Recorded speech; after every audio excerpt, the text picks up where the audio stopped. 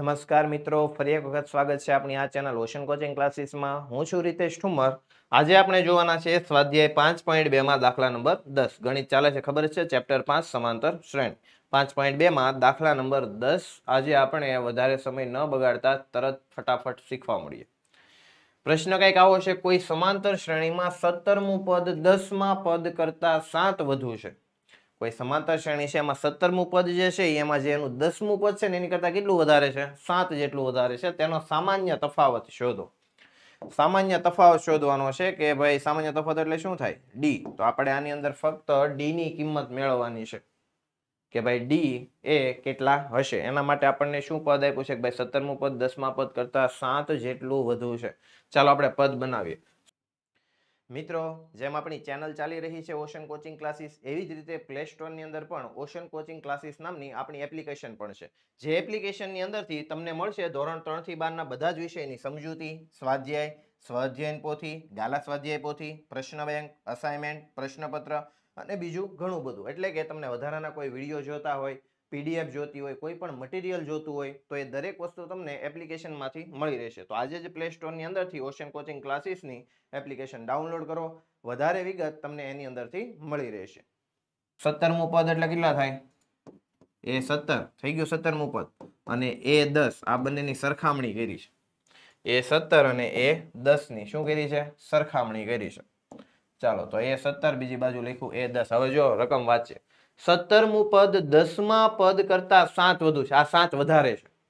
આની કિંમત જે આવશે ને, આની કરતા કેવી છે? સાત વધારે છે. બંનેને સરખા કરવા હોય વચ્ચે બરાબર મૂક્યા હોય તો અહીંયા સાત તમારે ઉમેરવા પડે.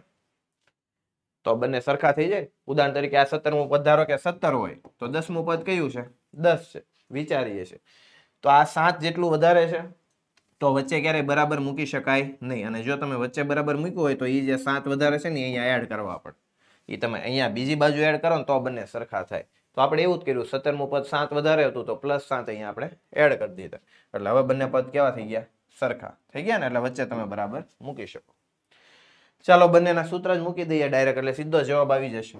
એ સત્તર એટલે શું થાય? એ સત્તર હોય તો એ પ્લસ કેટલા ડી થાય? સોળ ડી થાય ને? એ સત્તરનું સૂત્ર એ પ્લસ સોળ ડી બરાબર? એ દસ. તો એ પ્લસ દસમું પદ હોય તો કેટલા આવે? Nine D okay A plus નવ ડી બરાબર. સોરી વત્તા સાત. એ તો આની સાથે આવેલા જ છે. ફ્રીમાં તો એ તો મૂકવા જ પડશે. જોઈએ. બધું આ બાજુ લઈ લઈએ.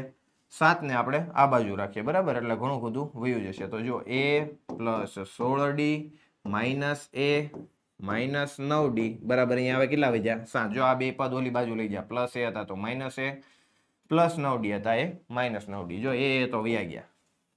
ઓકે. Plus, minus. માઇનસ. સોળમાંથી નવ જાય તો સાત ડી. મોટી સંખ્યાની નિશાની એટલે કેટલા આવશે? પ્લસ આવશે અને આ બાજુ સાત. તો ડી બરાબર સાતના છેદમાં સાત. તો ડી ની કિંમત ડાયરેક્ટ મળી ગઈ. કેટલી? એક. એટલો સરળ દાખલો છે.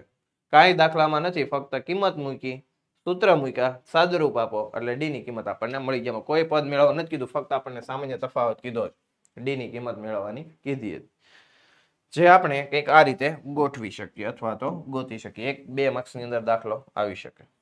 ઓકે તો નાનો એવો દાખલો હતો. ફરી નવા દાખલા સાથે, ફરી નવા વીડિયો સાથે આપણે ફરી મળતા રહીશું. દાખલા કેવા લાગે છે, સમજ પડે છે કે નથી પડતી, મને કોમેન્ટની અંદર ખાસ જણાવજો. આપ સૌએ આ વીડિયો જોયો, સાંભળ્યો, સમજ્યા તે બદલ આપનો આભાર. ધન્યવાદ.